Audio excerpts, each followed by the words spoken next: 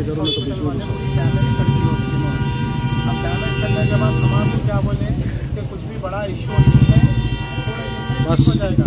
थोड़े दिन में ठीक हो जाएगा। बोल बोल के बोल बोल के दस दिन हो गए। दस दिन के बाद पूरी नोज़ ब्लैक हो गई। ब्लैक होने के बाद जो है ना हम लोग पूछे ये पूरा ब्लैक हो गई। बोल तो वो बोले। खिपली निकल जाती है खिपली निकल जाती खिपली निकलने के बाद बेबी ओके हो जाता बोलकर बोलते तो ठीक है बोल के बोले। निकली तो पूरी बेबी की जो है ना पूरी नोज़ आधी निकल ही गई अब उसके बाद हम लोग बोले तो उन लोग बोल रहे हैं सर्जरी करते सर्जरी करते वो करते ये करते बोल रहे हैं वो भी आफ्टर फोर्टीन ईयर्स के बाद और उन लोग जाके बात करने के बाद हम लोग को बोले तो सिर्फ़ ओनली नोज़ के रिलेटिव करते बोल रहे हैं और शहबाज के जाके बात करें बात करके शहबाज को बोले खाली नोज़ के रिलेटिव करे तो दूसरे चीज़ों पे इफ़ेक्ट पड़ा तो क्या तो उसका कोई आंसर नहीं दिया फिर बोले तो डॉक्टर जो है ना उन लोग के हिसाब से काम कर रहे हैं लोग। और हर बच्चे को वहाँ पे हॉस्पिटल में जितने भी बच्चे पैदा होते कि एन में लेके जा रहे हैं चार चार पाँच पाँच दिन लगते तीन तीन चार चार लाख रुपये लोग प्रेजेंटली ट्वेंटी एट से हूँ मैं। कितना खर्चा आया आपका? अभी तक मैं को करीब करीब तीन लाख रुपए तो अप्रोक्सीमेट आया ऊपर और भी आया होगा जिसका हिसाब मेरे को समझ में नहीं आया। और एक बार मेरे को जो है ना पचास हज़ार रुपये कुछ पे करने का था मेरे पास अमाउंट नहीं था अवेलेबल तो उन लोगों को बोला मैं बोला अमाउंट नहीं है बोलता अमाउंट नहीं है तो ट्रीटमेंट रुक जाता बोले बोलोगा और नीचे नीलिमा बोल के एक मैडम है रिसेप्शन पे रहती वो लेडी वो लेडी से मेरी बहस हुई। और मेरे से जो है ना एक लेटर लिखा है उन लोग का कि पैसे आप कल देते बोल के जो है ना जबान दियो उसके बाद ट्रीटमेंट करते बोल के। मैं बोला मेरे को लेटर लिखने नहीं आता। तो भी उन लोग लेटर लिख के मेरे से सिग्नेचर दे के उसके बाद बच्चे का ट्रीटमेंट शुरू करे लगा। और पर डे के बच्चे को कभी थर्टी फाइव थाउज़ेंड बोल रहे हैं कभी ट्वेंटी टू थाउज़ेंड बोल रहे हैं पर डे का। मेडिकल का बिल बच्चे का जो है ना एक टाइम तेरह हज़ार के मंगाए। ऐसा बैक टू बैक मंगाते गए गलती लोगों के मेडिसिन आपसे मंगाए हाँ मेडिसिन हमारे से मंगाए बेबी का मेडिसिन टोटली डिफरेंट बोल के बोले।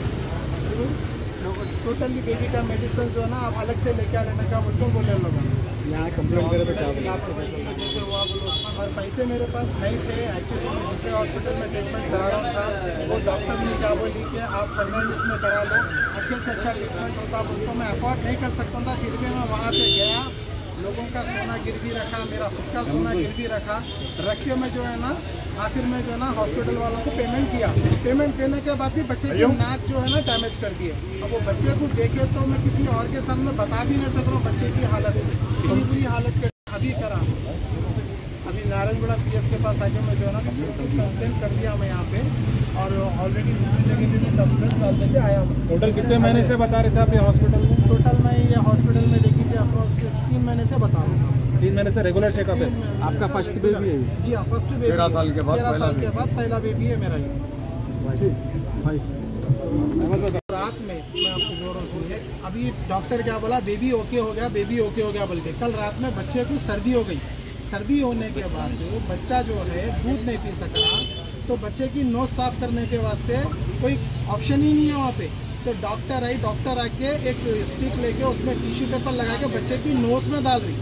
डाल के जो है ना क्लीन करने जा रही का हिस्सा ही नहीं है। यह हिस्सा पूरा निकल गया और बच्चा एक चीज़ पे हो गया और बच्चे की माँ दो बार सुसाइड करने की कोशिश करी।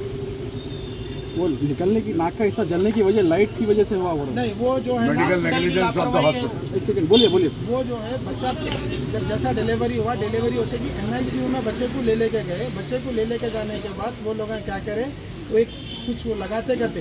हीट बढ़ गई हाँ तो वहाँ पे हीट ज़्यादा रखने की तरफ़ से बच्चे की नोज़ जली अगर वहाँ की सिस्टर वो टाइम पे जल्दी नहीं देख रही तो बच्चे का फेस जलने के भी चांसेस थे वहाँ पे। राइट करते जाते बच्चे के खातिर तो कौन से देखे तो कौन से लोकेशन पे है हॉस्पिटल में? ये काले पत्थर।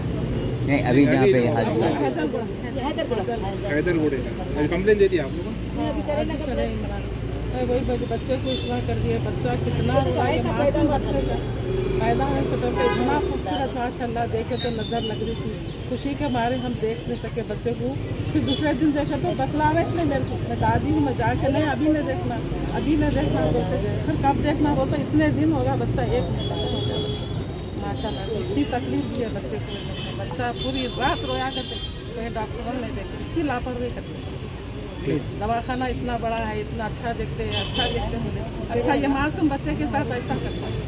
क्योंकि बच्चा बोल नहीं सका वो बच्चा अगर सही जरा होता तो बच्चे का पूरा चेहरा चल जाता अल्लाह की की बच्चे तो फिर हमें बच्चे की नाक का बच्चे नाक जो बच्चे की करेंगे ना बच्चे की कि जो भी देखेंगे आप बोलेंगे बच्चे को। आमिर तो उधर से आके का को। चलो के हम- बस है। बराबर। मैडम इस हॉस्पिटल में जो हॉस्पिटल माफिया जो हैदराबाद में चलाया जा रहा है, मासूम लोगों के साथ खिलवाड़ किया जा रहा है। कोविड आने के बाद से हॉस्पिटल का धंधा उरूज पर है और कई अस्पताल हैदराबाद में ऐसे हो गए हैं जो लोगों को फसाई की तरह लोगों से लोगों से पैसा वसूल कर रहे हैं और गलत ट्रीटमेंट कर रहे हैं। और हम हेल्थ मिनिस्टर हरीश राव और चीफ मिनिस्टर के चंद्रशेखर राव साहब से मुतालबा करते हैं कि फिल फोर इन तमाम डॉक्टरों को जो इसके जिम्मेदार हैं, इन तमाम को गिरफ़्तार किया जाए और हुकूमत की तरफ़ से या हॉस्पिटल की तरफ़ से कम अज़ कम एक करोड़ एस गिरेशिया का इस फैमिली को कंपनसेशन देने का ऐलान किया जाए। और ये बच्चे की आज से लेके तमाम ज़िंदगी, इसके तमाम फाइनेंशियल हेल्थ के जो प्रॉब्लम्स होंगे, उन प्रॉब्लम्स को हॉस्पिटल अपनी ज़िम्मेदारी पे लेकर हॉस्पिटल का मैनेजमेंट एक एफिडेविट देकर ऐसा करने का हम यहाँ पुलिस से मुतालबा करने आए हैं। इन थोड़ी देर में एफ़ हो जाएगा और उसके बाद